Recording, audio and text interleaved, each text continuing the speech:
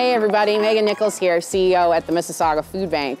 Winter is just around the corner and we are getting ready with a good hat and scarf to have a warm holiday season.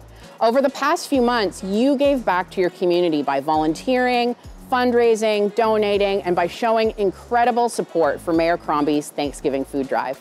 The compassion that you continue to show your vulnerable neighbors is an inspiration to us all.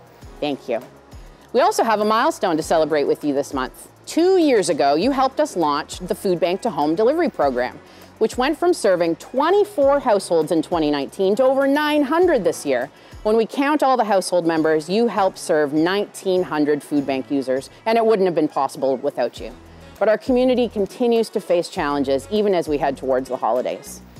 Earlier this month, we kicked off our holiday food drive with the goal to raise $1.5 million and 300,000 pounds of food.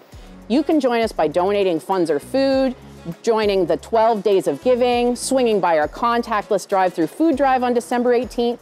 Just head to the mississaugafoodbank.org slash holiday for all the details.